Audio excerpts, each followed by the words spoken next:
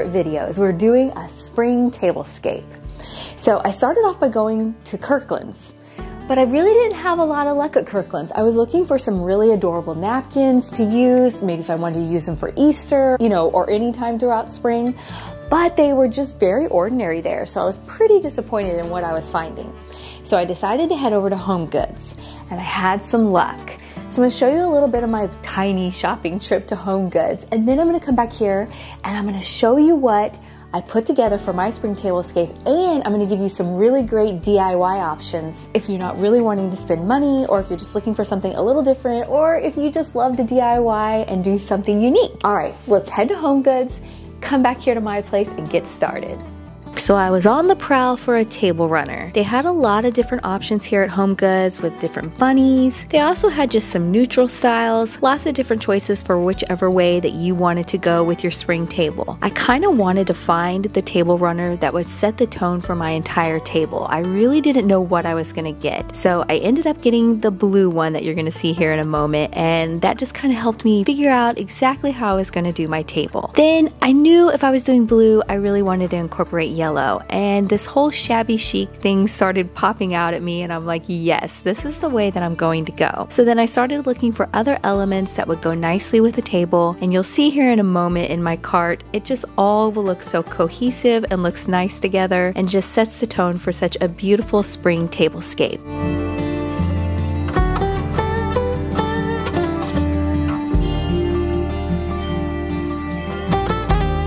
Let me introduce you to the sponsor of today's video, Helix. So recently I was told that I have the most dreamiest bed, and I have to agree. Ever since I got my Helix sleep mattress, my night sleeps have been amazing. Before you feel intimidated to buy a mattress online, let me tell you how easy it is. It comes straight to your door, rolled up. It's super easy and convenient to just unroll it, pop it on your bed, watch the fluffiness happen. It's truly been life changing. Think about how much you sleep in your bed. I mean, it's a lot. We spend a large majority of our life sleeping. So why wouldn't you want to invest in a great night's sleep? So one of the cool things is you go online and you do their online sleep quiz. Both Jason and I are side sleepers.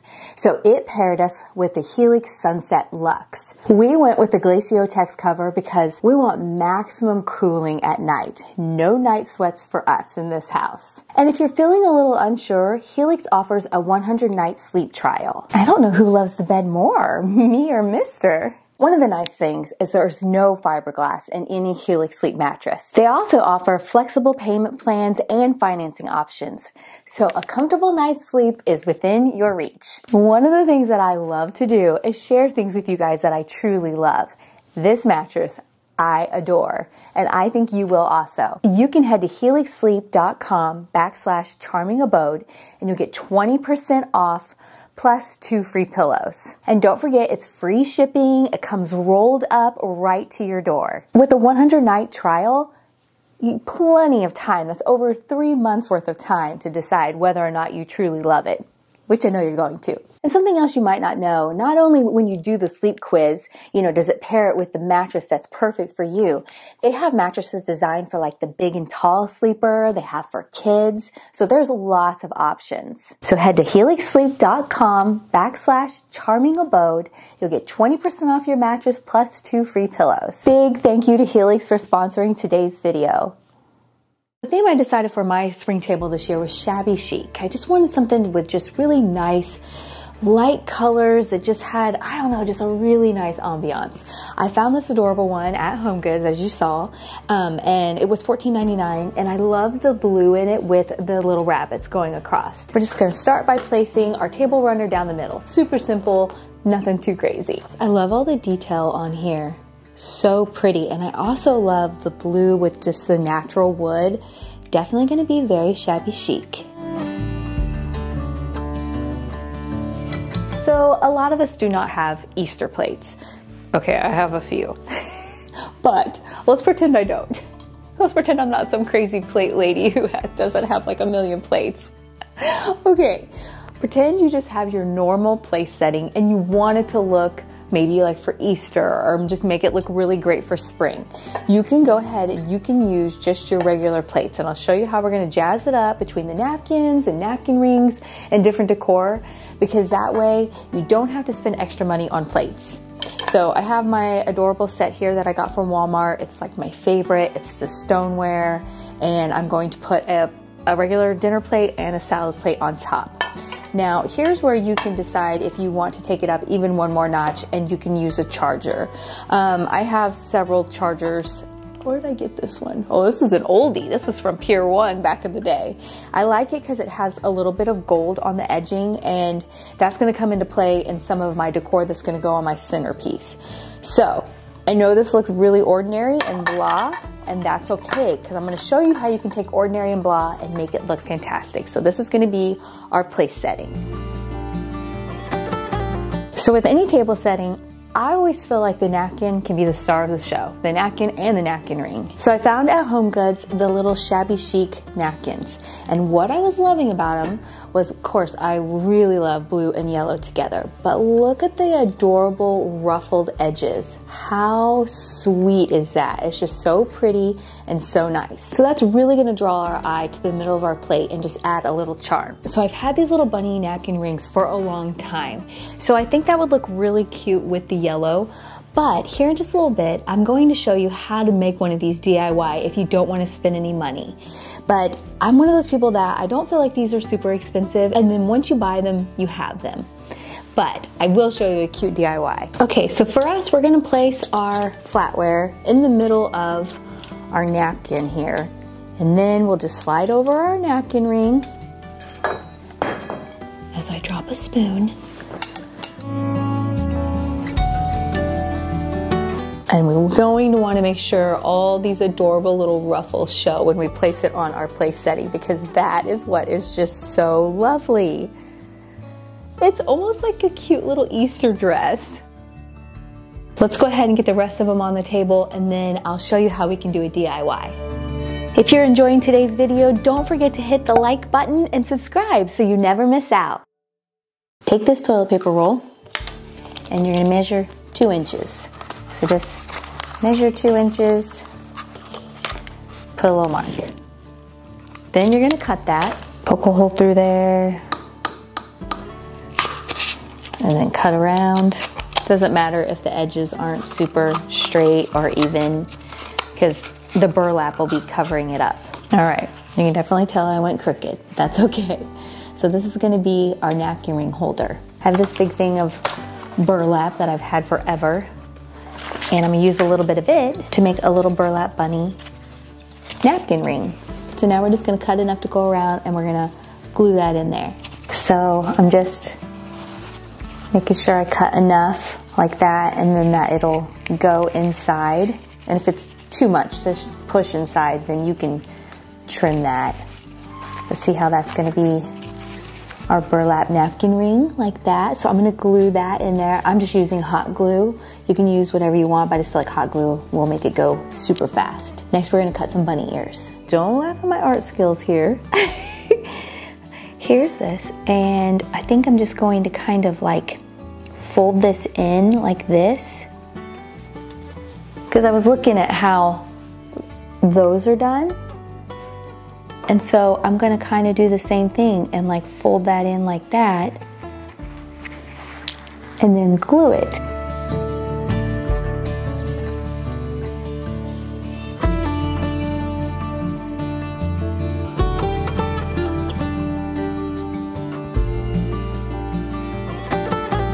Okay, this is kind of giving me the giggles. Okay, and I'll do the second one like that. And then if you want, you could do like the other, like the ones that I bought, and you could like really deck this out with like beads. I'm not gonna go into all that right now. I just wanted to show you how easy this was. I mean, literally toilet paper and some burlap, super simple. So let me get this glued on. I love burning my fingers on these hot glue guns. I need those little silicone things for your fingers but mine are upstairs in my office and I'm too lazy to go up and get them. So if you bend, I bent the burlap back and then that helped keep it up because burlap is pretty stiff and so it helps to keep the little bunny ears in shape. Okay, well, I'm a dork and I just realized that I put the bunny ears on the wrong way. think about it. The other one was like this. I should have had the bunny ears this way. What? Oh my goodness gracious. That's just the kind of day I'm having. I do like this. It's super rustic looking and super fun. You could really jazz this up. Put cute little like pearl buttons if you wanted to go into all that. By the time you do all that, you could just bought these because these are not expensive. For this tablescape, I have this glassware that, oh, I love. It's so pretty, but I'm really loving the little yellow details on it. And it's just like one of those glasses that I hardly ever get to use. And I'm like, yes, I am using this. So pull out those special occasion glasses for this time of year.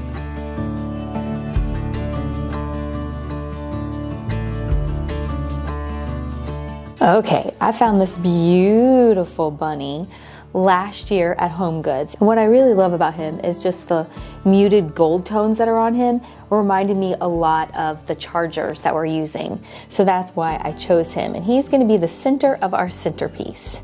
So keep in mind when you're doing your centerpiece, whether or not you're having a buffet or if you need to remove your centerpiece in order to place your food. So for me, we're doing a buffet, so I can put whatever I want in the middle of my table and leave it there and not worry about it. Now, if I wasn't and I needed to take it off quickly, a lot of times I'll make the centerpiece be in like a tray or a dough bowl, something like that to where I can just pick it up and take it away and it makes it easy. But this year, it's a buffet and we are good to go. So this has got my hair on it. what doesn't have my hair on it around here? Anyway, this little flower piece was at Home Goods and it just screams cottage core to me. I just thought it was so beautiful and as you can tell, it has the gold on it. So I'm kind of getting my elements to mix and match and then that way the whole table is incorporated together. Now I'm gonna start off and I'm gonna try this here and we'll kind of decide if this is going to end up being the spot for it. I'm one of those people that I have an idea of what I think it's going to look like, and then when I start doing it, I start playing around a little bit.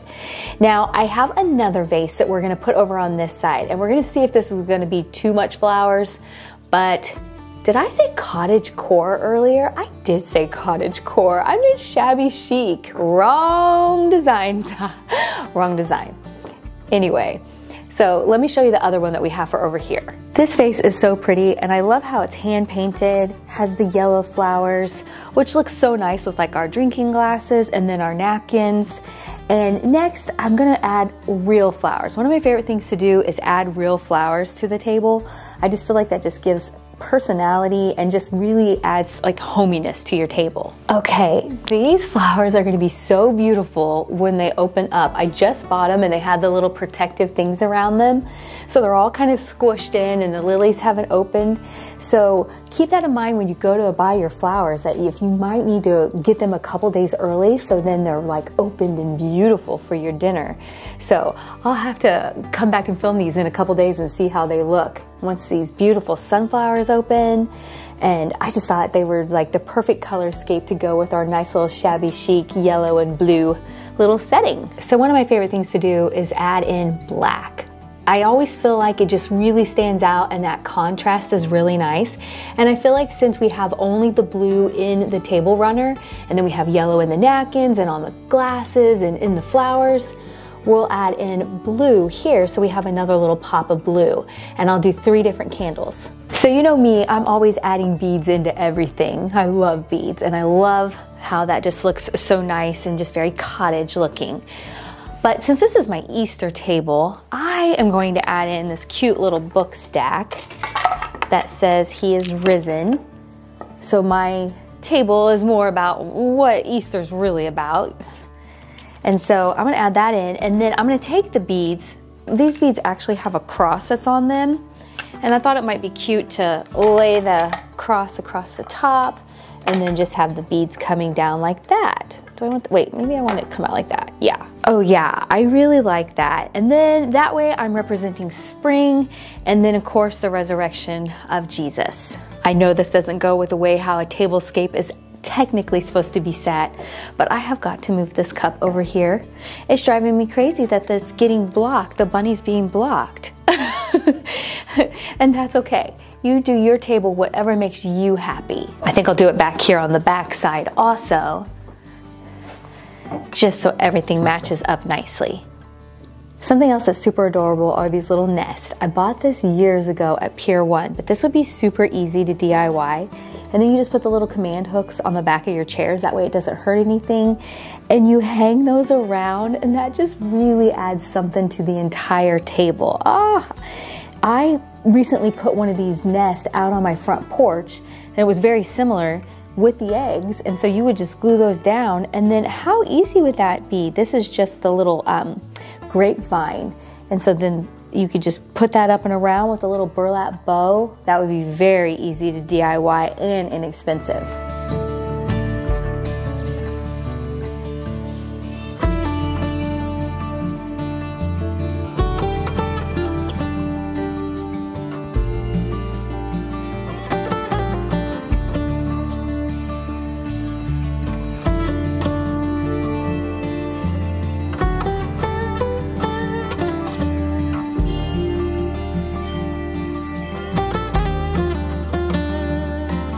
Going to show you a really simple way to always have spring plates or if you want to make Easter plates with bunnies, anything that you can always have to set the tone for your whole table.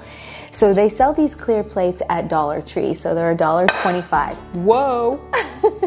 so they're $1.25. So then you just pick one of your favorite napkins for Easter. I really love this bunny one, but once I opened it up, I don't like how the four bunnies are going the opposite way. But this one is so super bright and cheery and so all you do, now keep in mind, this is gonna be for a one-time use because obviously you're going to wash this plate. Turn your plate over, take your Mod Podge, and you're gonna put that on the back of your plate. Just spread that all around. So remember this is on the back side, so that's not gonna affect anyone's food or anything like that. Okay, once you get that covered up everywhere, take your napkin. As you can see, we're obviously decoupaging this. Take your napkin.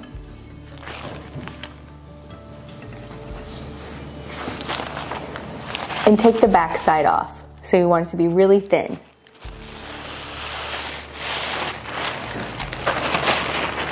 Take this and place this facing down on the plate.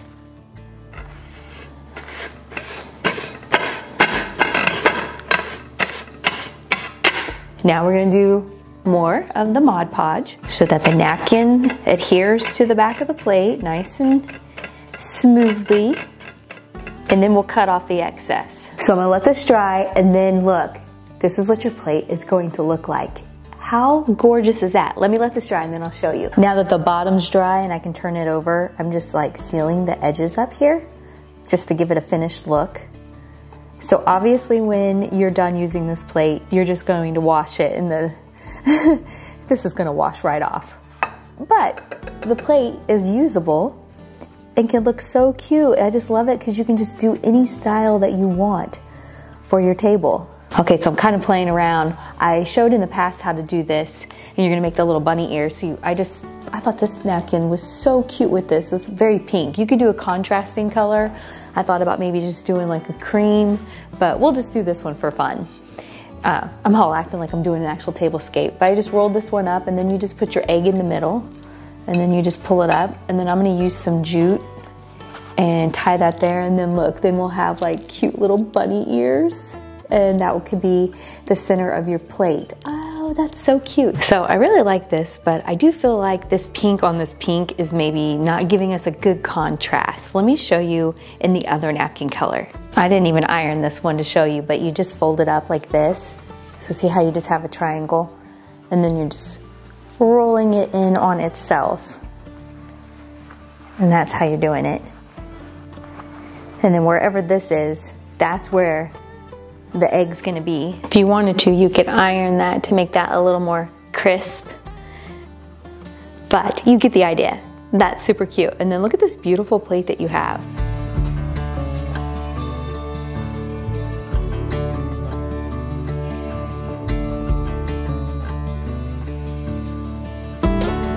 Thank you guys so much for coming along and decorating my spring table. I hope you guys all have a very wonderful Easter and we'll see you next time. Bye bye.